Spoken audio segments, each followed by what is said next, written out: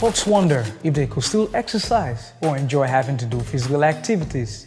Once diagnosed with medical conditions such as knee osteoarthritis, which is the wearing down of the protective tissue at the distal end of the tibia femoral joint, or maybe osteoporosis, which is the weakening and brittle of bone.